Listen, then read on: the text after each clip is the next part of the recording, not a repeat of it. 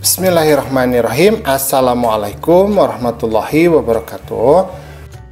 Pada kesempatan kali ini kita akan belajar di kelas 9 Babnya yang ke-10 yaitu materi dahsyatnya persatuan dalam ibadah haji dan umroh. Adapun submateri yang akan kita bahas adalah wajib haji dan sunnah haji tetapi sebelumnya, bagi kamu yang belum subscribe, silahkan subscribe dulu ya. Pencet tombol like, kemudian share channel Guru Cerdas.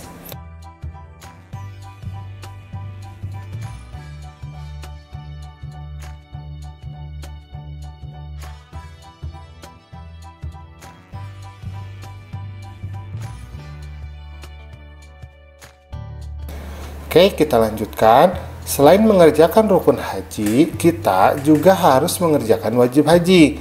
Nah, wajib haji adalah serangkaian kegiatan yang harus dikerjakan.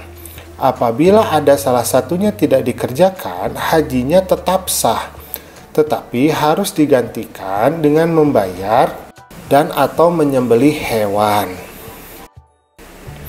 Nah, apa saja wajib haji itu? Yang pertama adalah ihram dari mikot. Ihram dari mikot yaitu batasan waktu dan tempat yang telah ditentukan. Ada ketentuan masa namanya mikot zamani ya atau ketentuan waktu. Adalah dari awal bulan Syawal sampai terbit fajar hari raya haji atau tanggal 10 bulan Julhijjah. Nah, sekarang ada juga yang namanya mikot makani. Nah, mikot makani ini adalah ketentuan tempatnya untuk melakukan ihram. Yang pertama adalah Mekah. Nah, ini adalah mikot atau tempat ihram bagi orang-orang yang tinggal di kota Mekah. Kemudian ada Zulhulaifah. Nah, ini adalah mikot atau tempat ihram bagi orang yang datang dari arah Madinah dan yang seja dan yang sejajar dari sana. Kemudian ada Juhfah, yaitu mikot bagi orang yang datang dari arah Syam atau Syria ya, Mesir, kemudian Maghribi atau Maroko. Dan yang searah dengan negeri-negeri tersebut. Kemudian ada Yalamlam. Nah, ini adalah mikot bagi yang datang dari arah Yaman, India, Indonesia, dan sejajar dengannya. Kemudian ada Kornul Manazil, yaitu mikot bagi yang datang dari arah Najdil atau Yaman atau juga Hijaz ya. Kemudian yang searah dengan arah itu. Kemudian ada Zatu Irkin.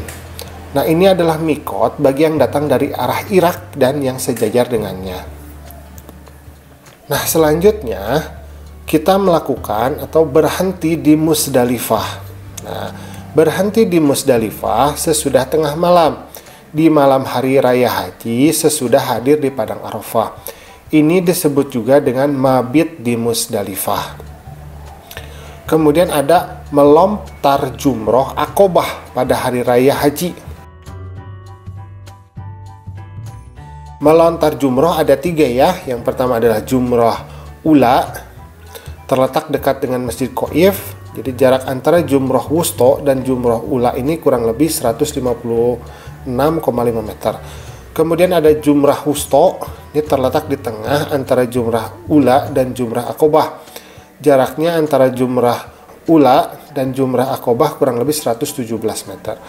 Kemudian ada jumrah akobah. Nah, ini yang paling yang letaknya paling dekat dengan kota Mekah.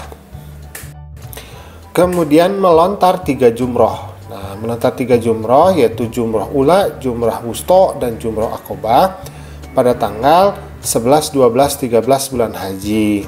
Nah, melontar jumroh ini dilaksanakan sesudah tergelincir matahari pada setiap harinya dan sebanyak tujuh kali untuk tiap-tiap jumroh. Kemudian yang kelima adalah bermalam di Mina. Nah, di Mina ini sudah disediakan ya tempat untuk kita menginapnya.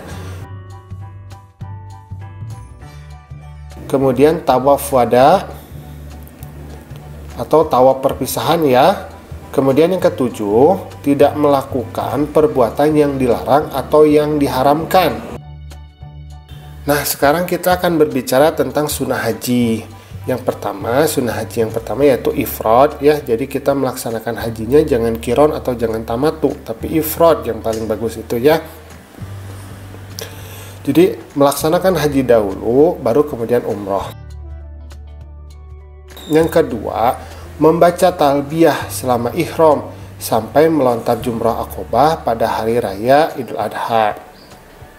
Bacaannya ya, bacaan talbiyah, labaik Allahumma labaik labaik la syarika laka innal hamda wa ni'mata laka wal mulk la syarika lak nah, seperti itu ya ya Allah saya tetap tunduk mengikuti perintahmu tidak ada sekutu bagimu sesungguhnya segala puji dan nikmat bagimu dan engkaulah yang menguasai segala sesuatu tidak ada yang menyekutui kekuasaanmu kemudian yang ketiga berdoa sesudah membaca talbiyah Kemudian yang keempat, membaca zikir sewaktu tawaf.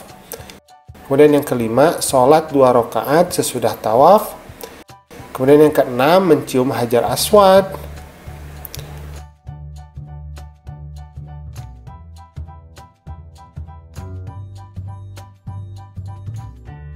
Kemudian yang ketujuh, masuk ke dalam Ka'bah. Tapi ini sunnah ya, jadi tidak dipaksakan. Tidak apa-apa.